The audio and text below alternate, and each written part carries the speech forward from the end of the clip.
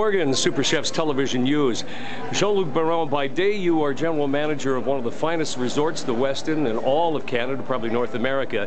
But by night, when you don your cape and your tights, you have a secret agenda. Would you explain why you're here today?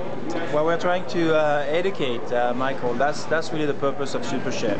Trying to get the kids to change the lifestyle and eat properly, uh, decent nutrition, proper uh, eating habits, and uh, as well as a healthy lifestyle from a physical activity standpoint. Jean-Luc, you must be very proud when you see some of the young ones. Uh, three years back, you were out at the Zajac Ranch, and then you went up to uh, Taku.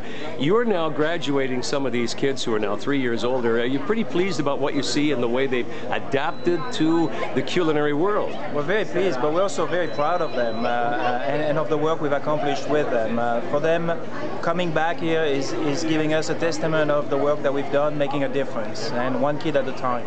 Uh, before I know you're busy because the show's almost on, yeah. I'm hearing uh, anecdotally that many of your young graduates out of the Super Chef program are now starting to uh, tell their friends, tell their families, and the word is getting out like the ripple that travels around the world. You wouldn't believe the number of kids that go through those stands and ask how they can get involved, Michael. So I think it's the uh, it's the jacket, it's the pretty logo, and uh, and it's the fun that we're having with the kids, whether it's at Zajac, whether it's at Taku, whether it's uh, today we're going to make some crepes and some healthy granola for them to take as a snack and to school. Thank you. Thank you.